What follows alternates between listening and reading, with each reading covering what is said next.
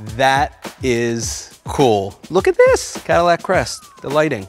This is beautiful. 22s, this is sporty. Woo! I started a new career 10 years ago exactly from right now.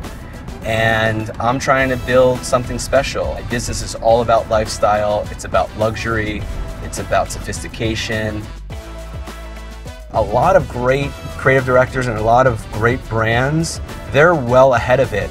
Every brand has to evolve. If you don't jump on the train, it's going to leave the station without you. You got touchscreen and you get to use the knob. And I didn't even notice the sunroof. That is a full panoramic sunroof. I love it. My kids will love that. Definitely elevated.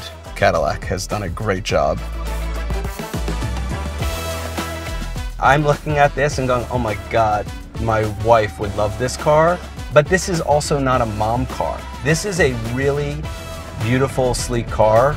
Like even from when I saw it on the outside, it's sporty. I love the SUV. I love that there's room in the back for my kids. I am really happy with the way it looks aesthetically and obviously the way it drives, which is, by the way, very smooth. I totally would love to be driven in this and I totally can take control and drive this car and look great doing it.